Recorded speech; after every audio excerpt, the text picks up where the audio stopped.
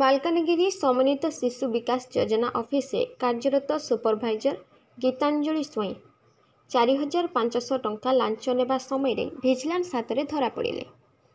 କାଣ୍ଡିକିଗୁଡ଼ା ଗ୍ରାମର ଅଙ୍ଗନବାଡ଼ି ସେଣ୍ଟରର ଶାଢ଼ୀ ଓ ଗରମ ଖାଦ୍ୟ ବଣ୍ଟନର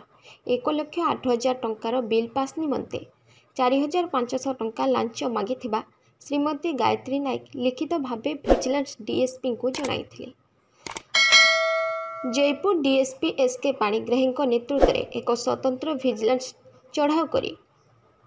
ସୁପରଭାଇଜର ଗୀତାଞ୍ଜଳି ସ୍ୱାଇଁଙ୍କୁ ଧରିଛନ୍ତି ମାଲକାନଗିରି ଆଇସିଡିଏସ୍ ପ୍ରୋଜେକ୍ଟର supervisor Shrimati Gitanjali Swain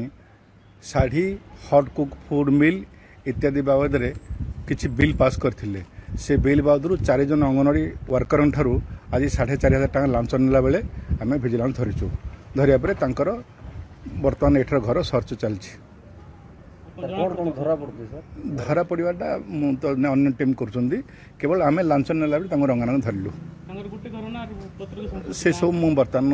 inquiry করি বর্তমান মু সেটা অন্য গোটে দল অনেক মু কেবল ট্রাপ বাবদে করে আসছি থ্যাংক ইউ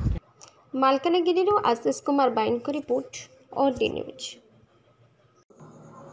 ଓଡ଼ିଶାର ଗର୍ବ ଓଡ଼ିଶାର ଗାରିମାକୁ ନେଇ ଆମେ ଗର୍ବ କରୁ ଠିକ୍ ସେମିତି ନିର୍ଭୀକ ସମ୍ବାଦ ପରିବେଷଣ କରିବା